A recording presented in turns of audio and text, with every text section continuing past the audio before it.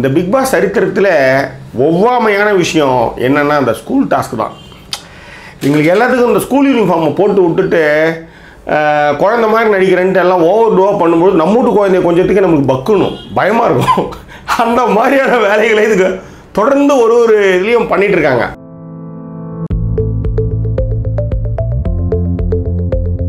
Jackie Cinemas. Unbiased Cinema Review.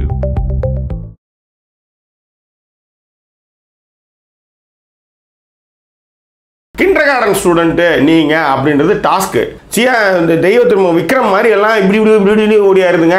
கடைசியில் ஒரு கட்டத்தில் வந்து பிதாமகன் விக்ரம் ஓடியாரா இல்லை தெய்வ திரும்ப விக்ரம் ஓடியாரானே தெரியாத அளவுக்கு வந்து சாண்டி பண்ணிட்டு இருக்காப்புல எந்த இடத்துல வந்து நிலா காயுது நேரம் நல்ல நேரம் வந்து குழந்தைங்க பாடுதுன்னு தெரியல. அந்த மாதிரி டைப்பான பாடல்கள்லாம் வேற குழந்தைங்க வந்து பாடுதுங்க. ஸோ அந்த நேற்று ஆக்சுவலி வந்து ஐம்பத்தெட்டாவது நாளுடைய எபிசோடே வந்து ஒன்றும் பெருசாக இல்லை. அதனுடைய கண்டினியூஷனாக இன்றைக்கி வந்து டங் ட்விஸ்டர் இந்த வாழைப்பழம் நழுவு இருந்தது அதை வந்து கரெக்டாக சொல்லணுன்ற மாதிரியான விஷயங்களை சொல்ல சொல்கிறாங்க அதை வந்து லாஸ்ட்லியாக சொல்கிறது ஏ இன்ஃபேக்ட் நேற்று லாஸ்ட்லியாக அந்த ட்விங்கிள் ட்விங்கிள் லிஸ்டாரை கூட வந்து க அழகாக மாற்றி பாடினாங்க. அது ரொம்ப பாராட்ட வேண்டிய விஷயம். ஏன்னா அதை மகாலட்சுமி கூட சொல்லியிருந்தாங்க ஆக்சுவலி மெசேஜில் அனுப்பிச்சிருந்தாங்க இந்த மாதிரி நல்லா இருக்குது அந்த அதை வந்து பண்ணது வந்து ரொம்ப நல்லா இருந்துச்சு. ஸோ லாஸ்ட் இட்ஸ் குட் அது. அது மாதிரி இன்றைக்கி தமிழ் தெளிவாக தான் அவங்க பேசினாங்க. இன்றைக்கும் வந்து பிரச்சனையை பண்ணாங்க. யார்? வனிதா தான். என்னென்னா எனக்கு வந்து இந்த மாதிரி ஸ்டக்காகி நின்ட்டேன் அப்படின்ட்டு ஏதோ சொல்கிறாங்க அதுக்கப்புறம் வந்து பரவாயில்லன்னு சேரன்னு சொல்கிறாரு திரும்ப வந்து ஆரம்பிக்கிறாங்க. பட் இந்த ஸ்கூல் டாஸ்க் எப்படா முடியும்னு இருக்குது எனக்கு எனக்கு வந்து என்ன சொல்கிறது இந்த டூ ஸ்கூல் டாஸ்க்கை வந்து நான் பார்க்குறப்பே வந்து இன்னும் பெருசாக அது ஈர்க்கவே இல்லை. வணி வனி வனிதா வந்து நினைக்கிறது தான் இங்கே சட்டம் அப்படின்ற மாதிரியான ஒரு போக்கும் இங்கே நிலவிக்கிட்டு இருக்குது சேரன் மாதிரியான ஆட்களே வந்து அங்கே வந்து தடுமாறிக்கிட்டு தான் இருக்கிறாங்க.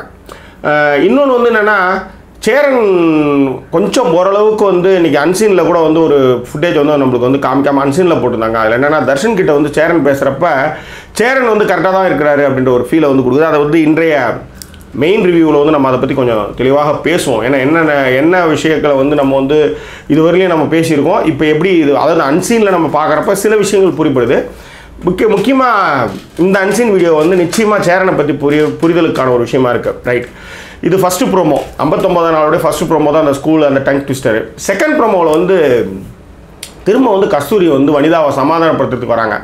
இங்கே பிரச்சனையே என்னென்னா இந்த பதினஞ்சு பேருக்குள்ளே இருக்கும்போது ஒருத்தவங்க மூஞ்ச காமிச்சிட்டாங்கன்னா அவங்கள சமாதானப்படுத்துறன்ட்டு போய் தான் பிரச்சனையே அதிகமாகும். நீங்கள் நல்லா கவனிச்சிங்கன்னா தெரியும். பிரச்சனையை பேசி சீக்கிரம் கூப்பிடுவாங்க டமால் ஹைப்பர் டென்ஷன் ஆவாங்க. திரும்ப போய் அந்த விஷயத்தை எடுக்கிறப்ப சில பேருக்கு எரிச்சலாக இருக்கும். அந்த மாதிரி தான் வந்து வனிதா வந்து நேற்று வந்து என்னை வந்து பதினெட்டு வயசு பையன் இருக்கிறான். டூ ஐ லுக் அப்படின்னும்போது எனக்கு எப் எப்படி பார்த்தாலும் அப்படி தானே தெரியுது.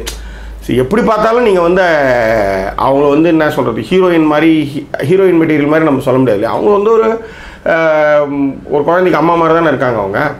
பட் வாத்துன்னு சொன்னது வந்து கலாய்ச்சேன் அப்படின்ட்டு கஸ்தூரி ஒத்துக்கிட்டு ஆமாம் நான் எல்லாரையும் கலாய்ச்சேன். பட்டு உங்களை நான் அப்படி சொல்லலையே அப்படின்ற மாதிரி இப்போ மாற்றி பேசிகிட்டு இருக்காங்க. பட் அவங்க வந்து நான் கலாய்ச்சது கிடையாது. அது வாத்து வாத்து பாடலை பாட வனிதாவை கூப்பிட்றேன் அப்படின்ற மாதிரி சொன்னால் அதில் எந்த தப்புமே இல்லை. அவங்க ஒத்துக்கிட்டாங்க. ஆக்சுவலாக நேற்று கூட ஒருத்தன் கேட்டிருந்தாங்க. அப்படின்னா கஸ்தூரி வந்து தப்பாக சொல்லிட்டாங்கன்ட்டு. உண்மையிலே அவங்க தப்பாகவே சொல்லலை. ஆனால் அவங்கள தான் வாய் விட்டு மாட்டிட்டாங்க.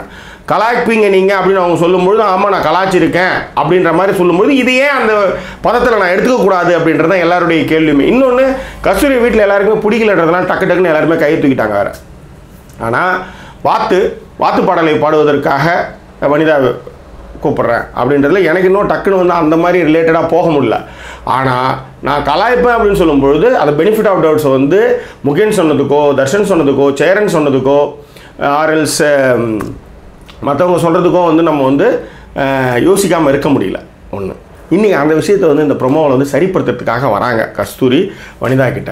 ஆனால் வனிதாவுக்கு வந்து நீங்கள் திரும்ப திரும்ப அதான் சொல்லும் பொழுது இந்த நாலு பேருன்னும் பொழுது டக்குன்னு லாஸ்ட்டாக பக்குன்னும் ஷெரினுக்கு பக்குன்னு. ஏன்னா நாலு பேர் நாலு பேர் நாம நாம் இந்த அந்த கு நெஞ்சு குரு குருன்ற மாதிரி ஒன்று ரெண்டாவது சப்ஜெக்ட்லேயே இல்லாதவங்க வந்து சில விஷயங்களில் மாட்டி ஒன்றும் கிடையாது. இப்போ சேரன் இருக்காரு.